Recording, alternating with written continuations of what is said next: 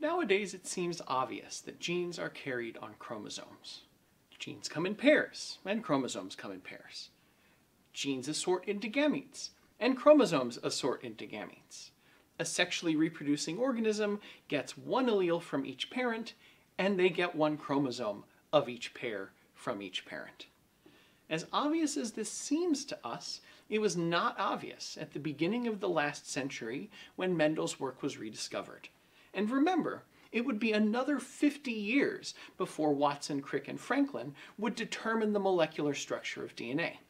So, this chapter, let's have a look at how chromosomes are transmitted from cell to cell through mitosis and from parents to progeny in meiosis, and then let's turn to the experimental and mathematical tools that convince the scientific community that chromosomes are vectors of heredity.